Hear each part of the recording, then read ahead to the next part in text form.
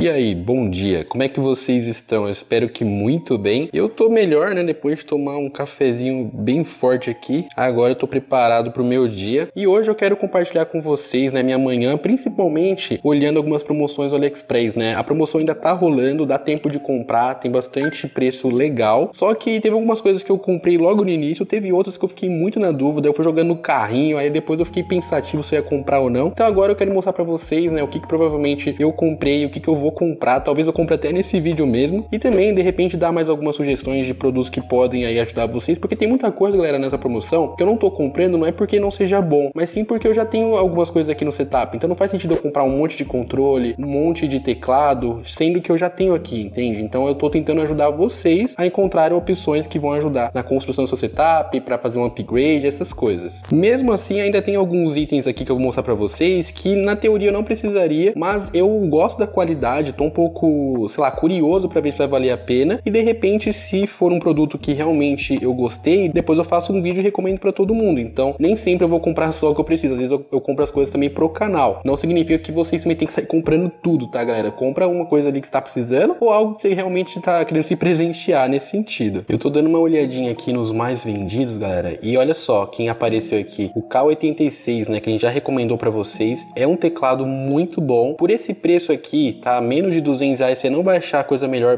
pelo menos tudo que eu procurei aqui. Até porque, novamente, tá? Ele é hot swap, ele tem três modos, Bluetooth 2.4. Você tem aqui uma telinha, tá? Que é uma coisa que normalmente só aparece em teclados mais caros. E ainda, como se não bastasse, ele tem um LED lateral, tá? É um LED muito bonito, que lembra bastante do Aco 5035B Plus, que inclusive também eu deixei aqui, porque ele tá num preço de 257 e você tem aqui, né, tanto no Switch é, Yellow V3 Pro ou aqui no Switch Blue V3 Pro, que são switches bem toque, bem interessante, tá? O azul talvez seja um pouco mais toque do que o amarelo, né? O amarelo é um pouco mais silencioso, mas ainda continua sendo um teclado maravilhoso. Se você quiser alguma coisa um pouco além do K86, esse Aqua aqui é campeão, tá? Eu gosto demais dele. De controle, eu fiquei muito na dúvida se eu ia comprar essa nova versão do HP Duke que vem com Hall Effect, tá? Só que, sinceramente, eu não vou comprar agora, galera, porque olha só, eu tenho outros controles aqui, então esse Flydigi aqui eu uso bastante, eu gosto. Eu tenho o próprio 8-bit Duo, não tenho o Hall Effect nessa versão, mas ele funciona, tá perfeitamente, a não ser que eu vendesse esse para comprar uma dessas novas versões, ainda tem o Game Surge G7 SE, tá? Que é uma versão branquinha que eu gosto bastante, só que isso aqui é uma versão com fio. Então, sei lá, eu recomendo muito vocês comprarem, porque essa dock dele ajuda demais, tá? Realmente é um tipo de dispositivo que você vai o tempo todo colocar aqui para carregar quando estiver usando, ele vai estar tá pronto. Não vai ter aquela situação de você estar tá no meio da jogatina e ele descarregar. Então isso aqui é maravilhoso. E com dock, o 8-bit Duo e Hall Effect ainda é o mais barato. Então você encontra aqui preços até abaixo de 200 reais, dependendo, tá? Então vai no 8-bit Duo. Se você quiser uma coisa um pouco além, pode até tentar o FlyDigi, mas com dockzinha, Hall Effect maravilhoso. Esse eu gosto muito. Eu quero aproveitar para indicar um acessório que foi um amigo meu bem entusiasta que me indicou, mas que realmente valeu a pena, que é uma pasta térmica, tá?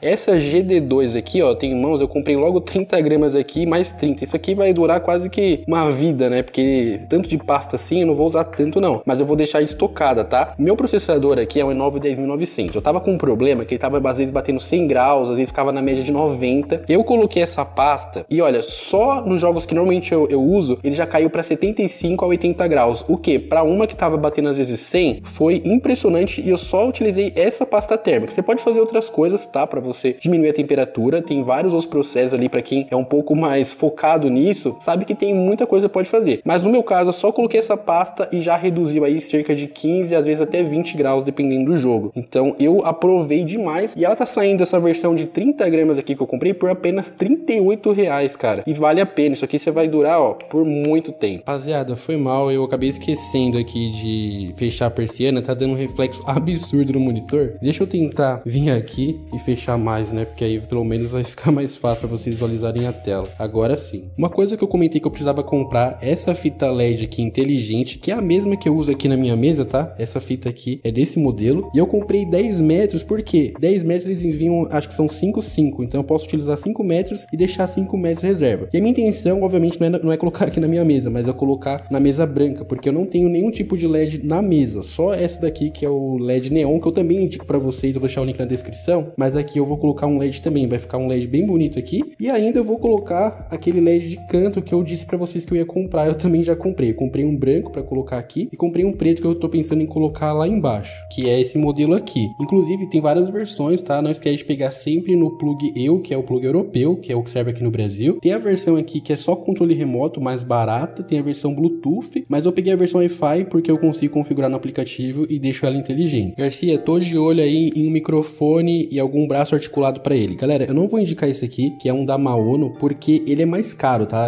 Hoje em dia não vale muito a pena você comprar ele pelo AliExpress. Porém, que é um combo muito bom de microfone que, cara, você vai ter uma qualidade tão boa quanto esse. É o Fifine AM8. Você tem tanto na cor branca, preta ou rosa, né? Esse aqui é bem mais específico, mas o branco e o preto sai bastante. E utiliza também esse suporte aqui, tá? Tem o suporte preto e o branco, que é um suporte mais low profile, ou seja, ele vai ficar bem mais simples aqui na mesa, vai ficar baixinho, né? Não é igual o meu aqui que ele vai por cima, ele vai mais por baixo. Você consegue deixar ele ali bem escondidinho. Eu tinha um desses, só que eu vendi. Eu até tô pensando em comprar outro aqui, talvez um branco para outra mesa, mas por enquanto eu vou deixar assim. Mas o preço tá saindo bom, tá? Tá saindo aqui até abaixo dos 200 reais, dependendo. Olhando aqui rapidinho, tem muita coisa boa que vocês podem comprar. Esse mouse aqui, que é o AJ139 Pro, é maravilhoso. Essa cor vermelha aqui parece bem bonita. Eu não sei se tem alguma foto de alguém que já pegou. Olha só, aqui tem a cor vermelha, tá? Dá pra ver que é um vermelho até que bem forte, né? Tem uns vermelhos aí que parece, sei lá, que foram lavados na cândida, mas esse aqui não, não tá feio não. Mas tem a versão preta e a branca. Eu tenho ele, ele lembra o formato do Logitech G Pro Superlight. Headphone com microfone bom, Fifine H9, tá galera? Tem aqui na versão rosa ou a branca. Tá por 153 reais, mas se você comprar ali com alguns descontos pode cair até abaixo disso. E vale muito a pena, tá? Microfone show de bola e um áudio também bem, bem legal, bem decente. Se você quiser um headphone, fora aquele que eu já indiquei para vocês nos últimos dias, tem esse aqui que é o Halo S35 ANC, qualidade absurda. Tem essa cor aqui bem exótica, mas eu compraria ou a versão preta ou essa versão branca. E aqui na promoção ele vai ficar próximo dos 160 reais. Eu achei aqui um outro item que muita gente me pergunta quando eu tô usando na mesa, que é esse apoio de pulso, né? Todo preto, ele é de silicone, tá vendo?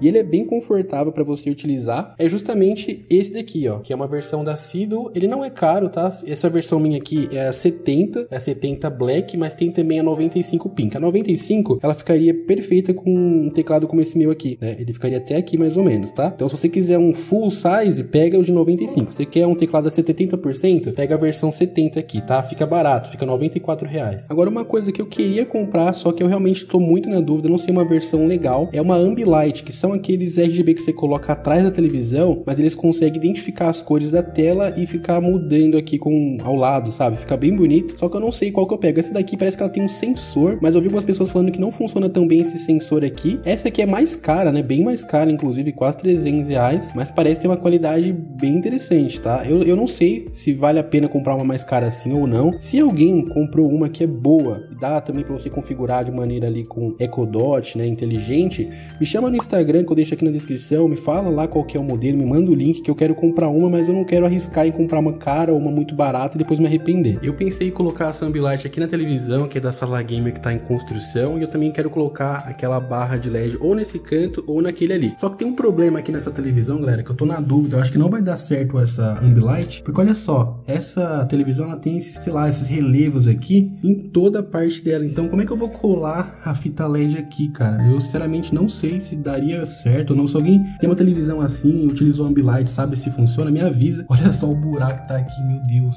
Inclusive, se vocês tiverem sugestões para eu decorar aquela sala gamer, eu tô aceitando, tá? Me manda lá no Instagram também. Agora eu vou mostrar algumas coisas que eu realmente quero comprar, provavelmente agora. Esse daqui, né, que é para você fazer organização de cabos, é uma coisa que me chamou muita atenção. Eu tô pensando em comprar umas 40 peças, 20 na cor preta e 20 na cor cinza. Aí sempre eu tô precisando aqui para organizar um cabo ou outro, tá? Isso aqui é bom você ter estoque e essa aqui com 20 peças fica só 10 reais. Então se eu comprar 40 vai dar menos de 30. Mousepad bom e barato é o PK Control, tá, galera? Ele é muito parecido com esse que eu uso aqui, que é o Aqua Control 2 ou Aqua Control 1 Plus, não lembro. E o tamanho também, né, que é um 40 por 45. Eu ia comprar dois desse daqui, né, uma, um branco e um preto, só que eu vou comprar só o preto, porque realmente eu acho que não tem necessidade agora. Na, se tiver uma outra promoção, eu tento pegar o branco também. Um outro item que eu já falei para vocês que me chamou muita atenção foi esse Moondrop espacial aqui, que é um fone da Moondrop TWS, ou seja, ele é sem fio com Bluetooth 5.3. E eu quero pegar essa versão aqui que é preto com laranja, sabe? Achei bem diferente essa case dele, mas tem a versão branca, né, para quem quiser uma coisa mais comum. Só que realmente eu tô de olho nessa, eu vou ver se eu pego, tá? 120, é, com alguns descontos aqui, pode ser até que fique mais baixo. E uma dica boa para quem quer economizar finalizar, galera, baixa aqui o extensor do Cuponomia. Eu vou deixar o link aqui embaixo na descrição para vocês conseguirem criar uma conta.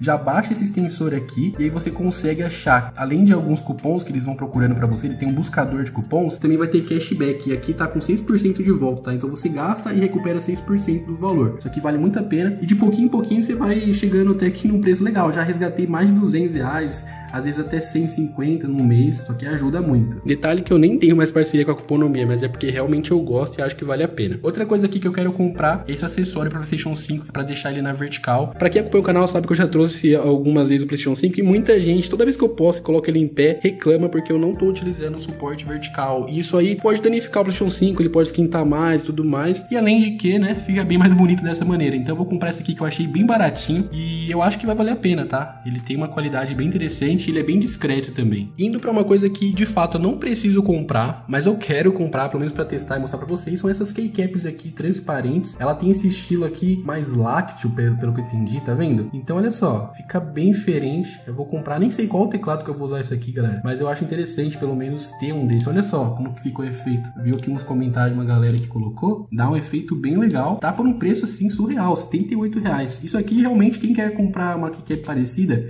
eu vou deixar o link também porque nossa, tá um preço bom demais. Agora um item que eu tô muito na dúvida se eu compro ou não é esse daqui, galera, que é um lançamento da EJS, é o AJ159, e ele tem três versões, tá? Ele tem a versão de até 1K, a versão até 4K ou 8K, não lembro, e a versão que tem aí um sensor novo, que é o 3950. Sendo sincero, eu ainda não conheço esse sensor, mas eu tô pensando em pegar ele, tá? Mas tem um problema, tem várias lojas aqui, né? Algumas eu vi que tem uma qualidade legal, né? Tem algumas notas boas, só que tem um, algumas que estão dentro do remessa conforme, mas ele fica assim, o dobro do valor por conta do imposto, e tem umas que estão fora do remessa conforme, só que tem o risco de chegar aqui e ele também tem uma taxa, né? Então eu tava pensando em comprar esse que tá fora, mandar uma mensagem pro vendedor pedindo para declarar um valor menor do que 10 dólares, para ver se pelo menos quando chegar aqui eu consigo pagar um preço bem menor de taxa, né? Vamos torcer. E como é um lançamento, eu queria testar um sensor novo, eu acho que vai ser legal, talvez seja uma das últimas chances que eu tenho para comprar um mouse assim. Tem várias cores, ó, tem branco, preto, mas o que me chamou atenção foi esse aqui que é um laranja e esse meio azul assim,